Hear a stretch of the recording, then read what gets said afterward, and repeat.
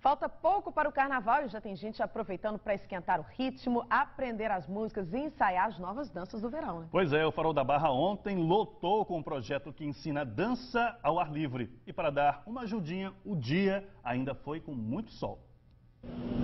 Foi um domingo de sol com praia bem movimentada. Quem não quis aproveitar o mar no farol da Barra teve a opção de cair na dança. Uma aula ao ar livre ensinou as coreografias para o carnaval.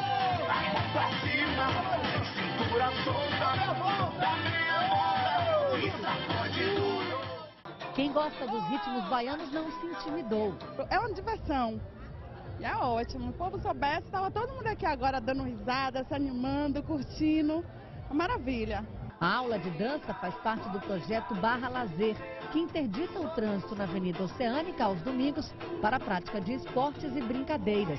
Hoje, muita gente parou para ver ou acompanhar os ritmos do verão.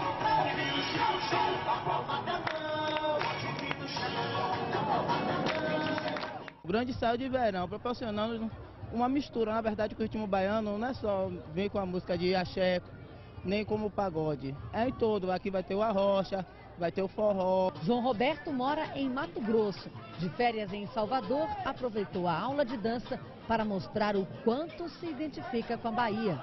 Eu amei Salvador, amei a terra, tudo, o sangue baiano, né? O swing baiano, o pagodão baiano, tá amando, muito bom. Você até parece baiano quando dança? Sim, sim, tudo na Bahia é bom que aprendeu a dançar. Sim, com certeza. Uh!